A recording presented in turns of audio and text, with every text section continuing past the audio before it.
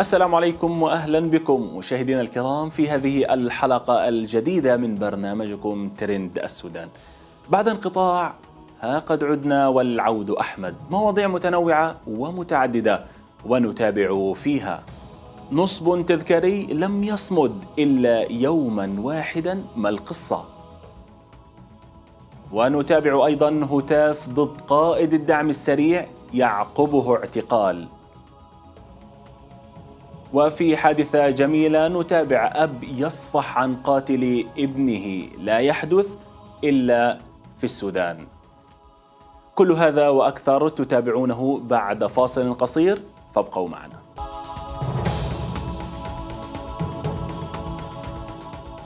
احتفل بشكل رسمي وشعبي بولاية شمال كردفان بافتتاح النصب التذكاري لشهداء مجزرة الأبيض. وعبر أسر الشهداء عن سعادتهم بهذا العمل لكن بعد افتتاحه بيوم واحد فقط قام مجهولون بالاعتداء على هذا النصب التذكاري لشهداء مجزرة الأبيض. ليتم ترميمه مرة أخرى من قبل بعض الفنانين في زمن قياسي. ليعتدي مجهولون مرة أخرى على النصب ويحطمونه هذه المرة. دعونا مشاهدينا ومتابعينا نسلط الضوء على أبرز ردود الأفعال حول هذا الموضوع وكيف تعامل رواد مواقع التواصل الاجتماعي مع هذا الخبر. نبدأ بالتعليقات حيث علق إدريس محمد إدريس. خلاص بدينا في عبادة الأصنام. الشهيد إذا كان عليه حق الله سوف يجزيه وذلك موضح في القرآن الكريم. لا يحتاج لصنم يعيده الناس أو لا يحتاج لصنم يعبده الناس. هذا نوع من التمكين وجعله ثقافة ومزارات. أما هناك تعليق آخر من عبد الوهاب فقال إنجاز كبير لحكومة أو إنجاز كبير لحكومة الثورة. أما أمين محمد فعلق اللهم إن هذا منكرا فأنكرناه. القصة ما قصة نصب تذكاري القصة قصة إنه صنم. أما عاصم محمد السيد فعلق. اعملوا ليهم بقروش العبث ده صدقة جارية أنفع للحي والميت. وتجري لهم الأجر والدعاء الناس تبطل محاكاة للغرب والشرق بلا طائل. وهناك تعليق آخر من شريفة محمود حيث كان لها رأي آخر قالت خلاص بنيت الوطن وبقيتوا فايقين لا شغل لا مشغلة. وظهر آخر تعليق من الطيب عثمان حيث قال يترمم في أسبوع ويتكسر في ثلاث دقائق.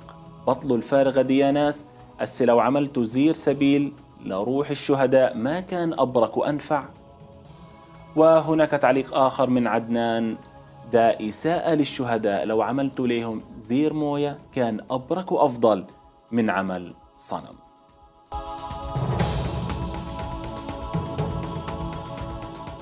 لننتقل أعزائي المشاهدين إلى موضوع آخر من فقراتنا والذي لقى اهتماما كبيرا على منصات التواصل المختلفة.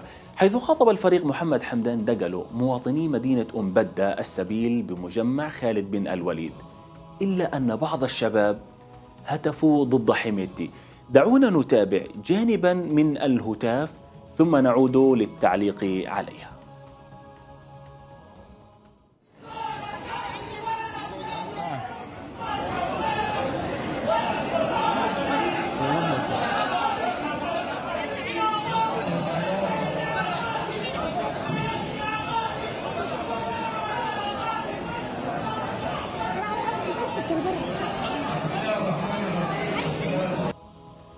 وبعد انتشار هذه الهتافات وانتشار هذا المقطع ظهرت لنا التعليقات.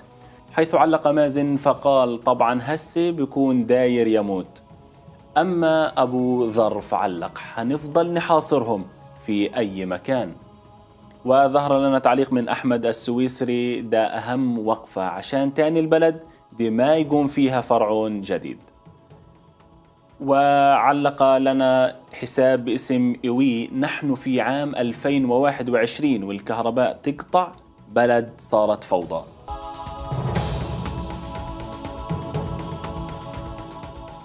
موضوعنا هذا أصدقائي من الغرابة بمكان ولا يحدث إلا في السودان. أسرة العريس الزاكي حسن الزاكي الذي توفي برصاصة طائشة يوم زواجه. دون قصد من أحد أصدقائه ليتم القبض مباشرة على الجاني ويتم إيداعه بالسجن الدامر. إلى هنا لم تنتهي القصة حيث ظلت أسرة الزاكي في زيارة مستمرة لصديق شقيقهم المقتول ليفجر والد القتيل مفاجأة ويعفو عن قاتل ابنه بضمانته الشخصية ويضرب في ذلك مثلا في المروءة والعفو وسماحة النفس. دعونا نتابع مشاهدينا هذا الشاعر ماذا قال؟ ثم نتابع أبرز ردود الأفعال على هذا الموضوع. خدت السلاح. وبشر بضرع رجال صح أزول ضرب النار فيه لما الأفراح وحاط اسم الله العظيم مو صح يلا بيتو كلامي.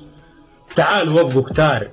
إن قال جاوبوه إن كان حار أنتوا لشنو بتبدو اللعب بالنار وان حصل الحصل ترموها بالأقدار. كم؟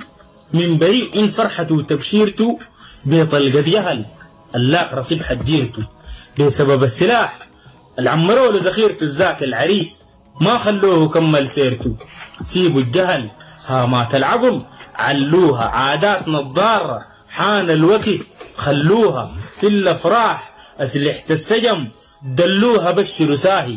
الفرحة ما تقتلوها السلاح. عادي بقلب الفرح ليهون وحزنه بتاور من عد مية حول. دي رسالتي. هاكم خلاصة القول السلاح. ما بعبر عن الرجال الزول دي. رسالتي. هاكم خلاصة القول السلاح. ما بعبر عن الرجال الزول. وبعد انتشار هذا المقطع المؤثر الجميل ظهرت لنا التعليقات حيث علقت نجوى منصور الله يرحمه هو تصرف طائش من صديقه لكن الأعمال بالنيات. الراجل عن جهل كان فاكر إنه بيجامل وأهل المرحوم كتر خيرهم وأجرهم عند الله. أليس العفو عند المقدرة؟ أما أزهري عبد الفتاح علق فقال الشهادة لابنهم وتصرف نبيل في ميزان حسناتهم إن شاء الله. وظهر لنا تعليق بحساب أمازون. القاتل أطيب زول أنا بعرفه حق المعرفة. وده صاحبه طوالي بكونوا ماشيين سوا. سبحان الله. وظهر لنا تعليق آخر من الطيب. خلي الناس ترد من فيض فضايلك ناهلة. واعف الرقبة ذات الدنيا مش مستاهلة.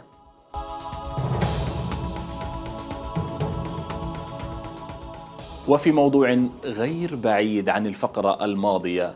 ضرب كذلك أحد رموز البطاحين العم عبد الله بلال أروع الأمثلة في عفوه عن قاتل ابنه. ذلك الابن الذي أكمل إجراءات سفره للخارج ولكن قدر الله أن يصاب. والمدهش في الموضوع أن يقوم العم عبد الله بتناول الإفطار مع قاتل ابنه في حادثة تشبه السودانيين. دعونا نتابع مشاهدينا هذه الصور المتداولة ونقرأ لكم أبرز التعليقات عليها وما أحوجنا لهذه الأخلاق الكريمة في الوقت الحالي وتناسي الأحقاد والتعالي عليها.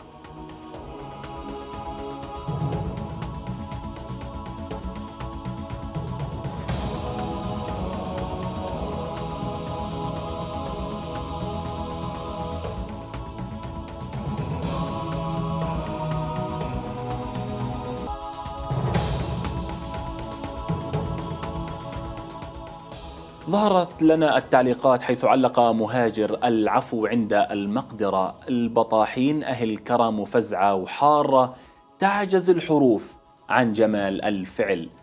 وظهر لنا تعليق من محمد الطيب. نعم الرجل عبد الله بلال أفعاله الكريمة أقرب للجنون والخيال. ربنا يكرمه يدخل ابن الجنة بغير حساب. العم عبد الله بلال من البطاحين البتجاب واحد مأجر فرن كتل ود عبد الله بلال. عفى عنه وجاب الفطور في القسم وفطر مع القاتل وعفى عنه. ومعروف عنه الكرم الفياض ويعمل الأكل بإيده للمحتاجين في السوق. وظهر لنا تعليق آخر من حساب باسم برو. والله مع السودان الوضع بقى ما بينطاق. بس والله لكن في حاجات جميلة لسه فيه. زي التعامل الجميل. ربنا يحفظكم.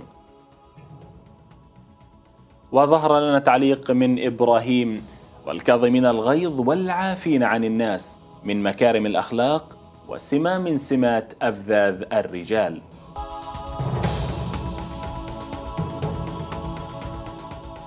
ونبقى كذلك مع أخلاق الشعب السوداني متابعينا ونبقى في هذه المرة مع أهالي منطقة الوادي الأبيض. حيث أكرموا المسافرين الذين انقطع بهم السبيل بطريق النيل الغربي شمال أم درمان.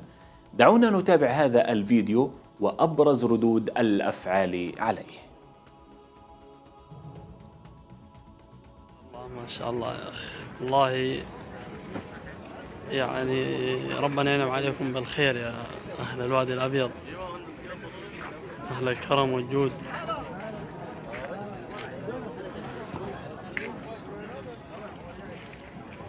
عليك الله أبشر.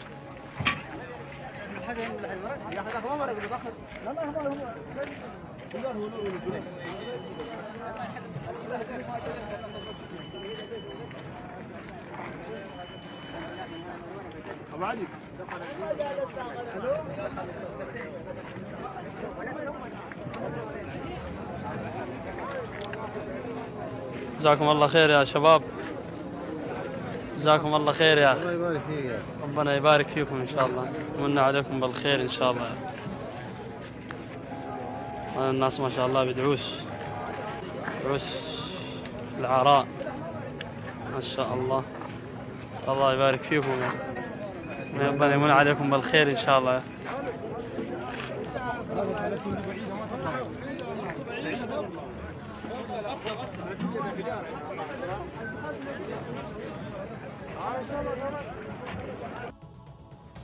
وبعد انتشار هذا الفيديو الطيب حقيقة ظهرت لنا التعليقات حيث علق ود إلياس برغم قساوة المحن عزيزا أنت يا وطني برغم قساوة التيار برغم صعوبة المشوار. وظهر لنا تعليق آخر من عوض حيث قال عادة تربية سودانية قل أن تجدها في معظم دول العالم. رغم الظروف القاسية دي وظهر لنا تعليق من أم فرحة. ديل أصلان أصول وناس كرم. يعيش الشعب السوداني ديل أهلي أهل الكرم والجود. وعلق علي محمد الأمين. ما شاء الله تبارك الرحمن. تخيل كيف يكون الحال لو كنت سوداني. يا أخوان السودان جميل السودان. وظهر لنا تعليق من حساب فيسبوك باسم ساتو الوادي الأبيض الريف الشمالي شمال أم درمان دي بلدنا وديلة نحن أصل العادات والطيبة. شكرا لتوثيق شيخ حمد عبد الرحيم.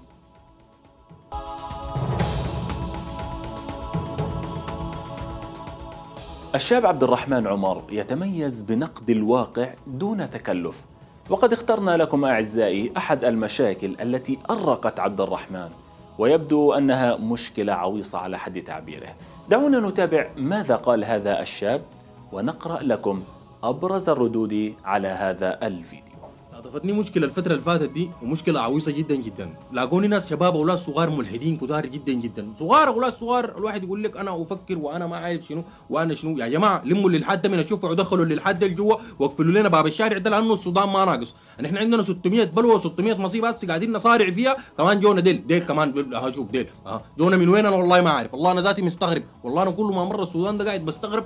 في عز الاستغراب أنا بكون مستغرب في المصيبة القديمة. بيجيني استغراب جديد بكون بنسى الاستغراب القديم بستغرب في الاستغراب الجديد. في حالة ما يعلم بها إلا الله. يعني الواحد يجيك كمان الملحد يجيك يقول لك أنا عايز أناقشك. أنا عايز أناقشك. يا أخي تناقشني. أنا أناقشك كيف؟ أنا وانت أنت مقتنع بإنه أنت جدك جي... آه، هنا يا أخي. قريد أناقشك كيف؟ أناقشك كيف؟ أبدأ معك النقاش كيف؟ يقول لك أنا أنا أفكر أنا أنا أفكر اذا أنا موجود. الله بارك الله. يا الله الله. الجك اللي صمت في نص راسك يا الله بارك الله. الواحد جاي ملحد ابنصيوحه بالغسان. ده شنو ده يا أخي؟ في شنو؟ أنتوا شايفين إنتوا إحنا كسودانيين. والله ما عندنا لكم أخلاق. والله ما عندنا لكم أخلاق لا نتناقش معاكم. ولا نفكر فيكم ولا نشوفكم أنتوا دايرين شنو؟ يا أخي إحنا في مصايبنا وفي بلاوينا لا عندنا كهرباء لا عندنا موية وعندنا سياسيين حرامية وعندنا عسكر مطلع وعندنا ما في ما عندنا حاجة. نحن جميع مقومات الحياة في السودان ده ما في ما في. عايشين كده بس باللمبه هم كده بس قاعدين بس كده. السودان ده الأرض بس قمنا زي المزروعين زراعه قمنا من غير أي شيء زي شجر الصبار. مش بيقوم من غير شجر. ان إحنا قاعدين في السودان ده من غير مويه. ان إحنا بس قاعدين من غير أي حاجة في السودان ده. تجونا أنتوا تتموا لنا الناقصة؟ يا زول يا أخي ما دار تلحد الحد بعيد يا أخي أنا مالي وملك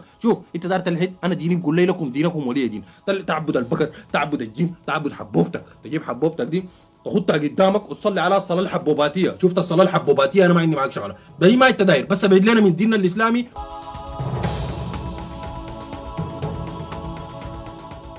وبعد انتشار هذا الفيديو ظهرت لنا التعليقات حيث علقت حنان والله كلامك معبر جدا.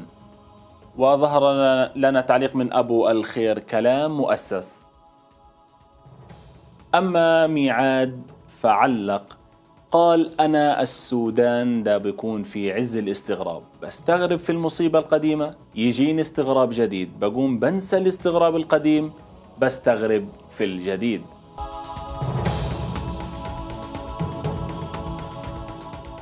تفاعل عدد من المغردين مع وسم انتشر على وسائل التواصل الاجتماعي الحرية للمهندس إبراهيم غبوش والذي قضى أكثر من ثلاثة أشهر ومر عليه العيد داخل زنازين لجنة التمكين بتهم لم تثبت ودون عرضه على قاضي ودون محاكمته محاكمة عادلة ولكن من هو المهندس إبراهيم غبوش؟ هو مهندس بث عمل في قناة طيبة إلى حين صدور القرارات الجائرة ضد باقة قنوات طيبة من لجنة التمكين حيث قام المهندس إبراهيم بتسليم عهده للقناة ولديه إقرار من القناة باستلام العهد وأنه خالي الطرف من أي التزام والمغادرة إلى منزله وظلت اللجنة تستدعيه بين فترة وأخرى للتحري معه إلى حين القيام باعتقاله. واضعة إياه أمام ثلاث خيارات. إما أن يجلب المعدات التي سلمها أو يجلب الأشخاص الذين تتهمهم اللجنة باستلام المعدات أو دفع قيمتها. الأمر الذي لاقى استهجانا واسعا فكيف لمهندس أن يقوم بتسليم معدات سلمها سابقا أو أن يحل محل الشرطة في جلب متهمين آخرين؟ شيء غريب. ونسأل الله الفرج القريب. دعونا نشاهد هذه الصور لإبراهيم غبوش ثم نقرأ لكم أبرز التعليقات.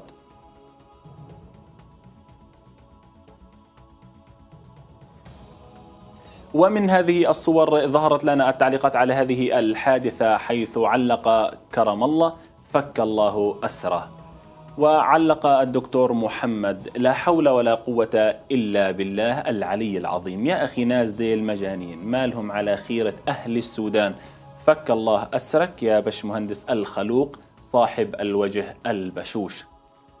وعلق كمال ويتحدثون عن الحرية والعدالة. أين دولة القضاء والقانون؟ وعلق محمد الله المستعان. لجنة الفساد والدمار إلى أسفل سافلين. نسأل الله الفرج القريب. أما أبو سارة فعلق فرج الله كربه ونفس عنه وعن أهله وسيعلم الذين ظلموا أي منقلب ينقلبون. ومن التعليقات ننتقل إلى فقرة صور الأسبوع.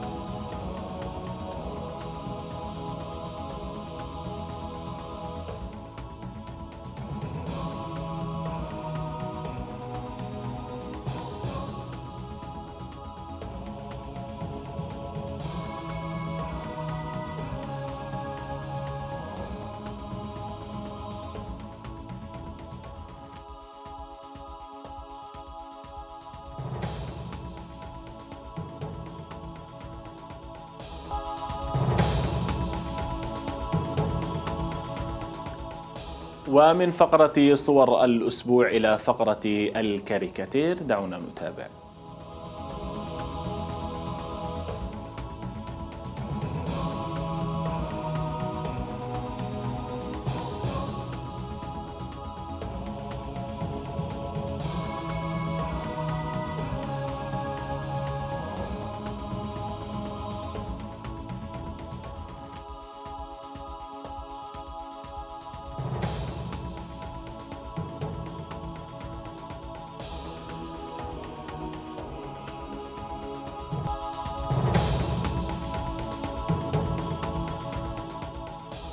ومن فقرة الكاريكاتير نصل مشاهدينا وإياكم إلى نهاية هذه الحلقة. شكرا لطيب المتابعة. إلى اللقاء.